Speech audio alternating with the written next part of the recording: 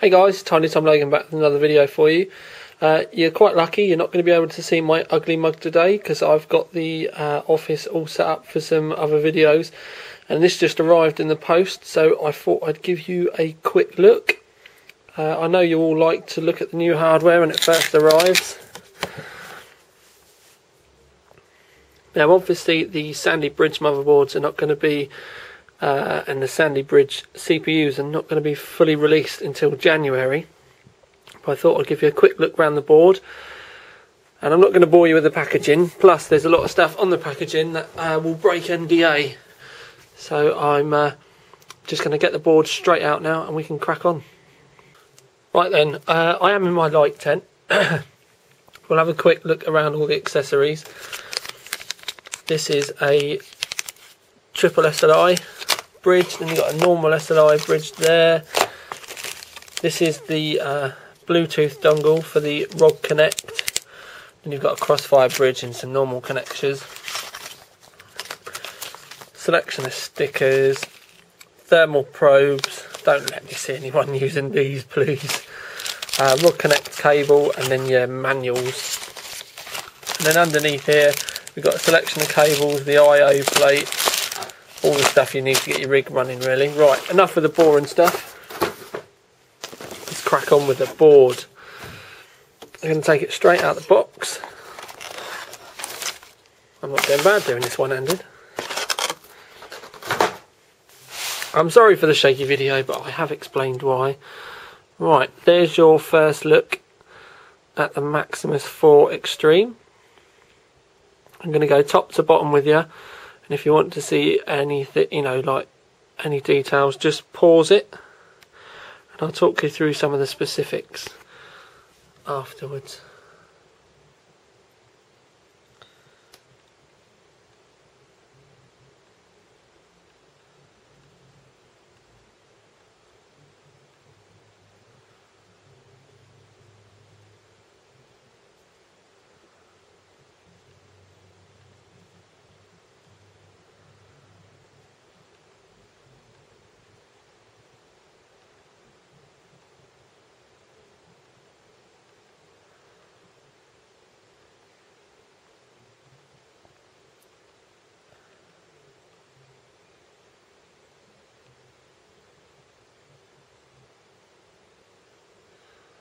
Right then guys, let's talk about some of the specifics on the board. If we go around the back, you can see that we have all uh, USB 3s. Now, this one, this one, and this one are shared with the front panel and are um, all shared over a USB 3 hub. These two are native USB 3, so this one will get full speed no matter what. But these ones, if you, they all had USB 3 um, items attached, they would be sharing the bandwidth. And you can see that there is a USB 3 there. And a second one just there. And this, in quite a strange position, is the USB 3 front panel header. Why it's not on the other side of the board, I'll never know. Hopefully that'll get changed later on on newer boards, but to me that should be over there with a 24 pin. Seems a bit of a strange place to put it. All of the uh, fan headers are PWM, which obviously you can use normal 3 pin on or the 4 pin PWMs on. And there are quite a few of them scattered all over the place. As you can see, we have one, two, three, four, that's my phone ringing in the background, full length PCI Express slots. So you can have a dual card there, dual card in this one, and then a dual card in this one if you wanted. This is an open-ended PCI Express 4, so uh, you could drop a full length PCI Express in there if you wanted. Where it's open-ended, it will still fit. The uh, ROG logo does look like it's going to light up on this one. which is a common theme. You can see the power there. I'm not too sure on the heat sinks on these yet.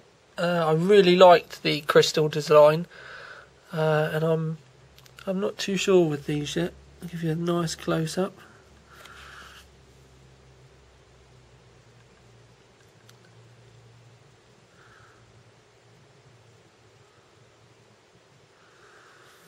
But yeah, the uh, jury is out. More features. We've got a on-board uh, LED poster. Uh, this previous was like a little add-in that we used to click in the back. You've got all the um, points here that you can plug in your thermal monitors. Or they're like uh, like little wires, and then you can put your thermal probes on anyway, or your um, not your thermal probes. I do apologise. Your multimeter. You've got dip switches here for the PCI Express lanes. This is really handy if you've got a multi-card setup and one of your graphics card dies because you can turn the lane off uh, and because for example, sake if the graphics card dead it, it's dead you it might stop the system from posting properly. Um, with that you can switch the lane off and then fingers crossed if it is just the graphics card the system will then post. So quite handy for fault finding. And obviously you've got the uh, start and reset button there. BIOS switch there for switching between BIOSes. That's really handy as well something that I didn't mention on the back which I want to is that little header there is for the uh, Bluetooth module so that you can use the ROG Connect with Bluetooth via your iPhone or your um, Android phone if you've got one and also there you've got the uh, uh, reset switch for the BIOS. Should you need it, the Asus are pretty good unless you're really, really on the limits of your hardware. So, just a quick short video just to show you one of the toys that you're going to get the full review of in January. Quite looking forward to working with this one. I've always liked the Asus products so yeah, for now, uh, at least, this is Tiny Tom Logan. Out.